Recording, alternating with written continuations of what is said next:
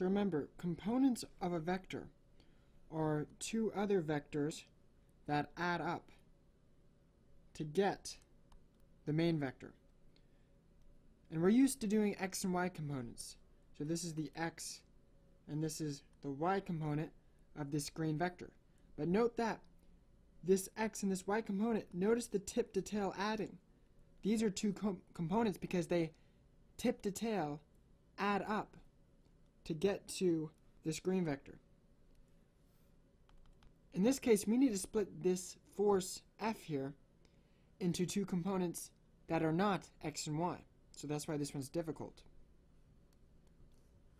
So here's our force F, right here. And its length is 500. So we need to split this F into two components. One that's in the direction of this line right here, this AB line.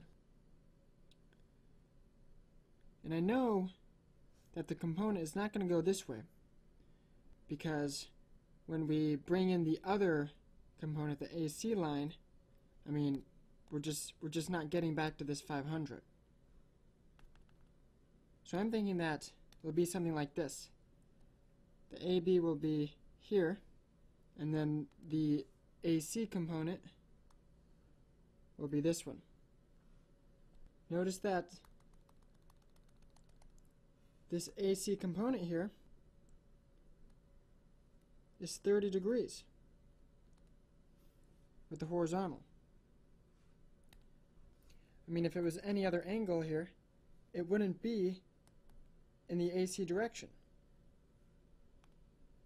So here are my two components. And notice that these components, the green and the purple, they add up to get my resultant, my 500.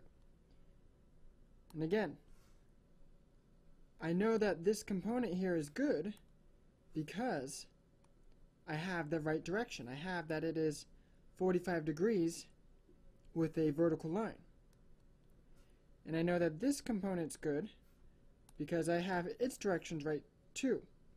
Its direction is 30 degrees from the horizontal and I've made sure to draw it like that.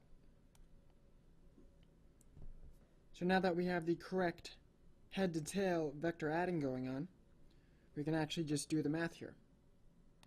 So let's try to determine some of the angles and some of the sides of this triangle right here. And just be careful, never assume, never assume it's a right triangle. I know this is a right angle here because this is a horizontal line and I know that my 500 is going perfectly in the vertical direction. So I know this is 90 degrees. And if I know that, this will be 60 degrees right here. And I have 45 degrees right here. And since there's 180 degrees in every triangle, I can do 180 minus 45 minus 60 to figure out that last angle. And that would be 75. So now that I have that, I can set up a law of sines statement because I have an angle in its side and I have an angle here and I need its side. So we can write that out. So here's my law of sine statement. And we can use it to solve for that force component AC. The magnitude of it, this right here. And we'll get 366 and this will be in newtons. And of course I can set up a law of sine statement for my other component. So here's my law of sines equation for the AB component. And if I solve, if I do my algebra, I will get 448.3 newtons. And those are the magnitudes of the two components of f that are directed in these special directions.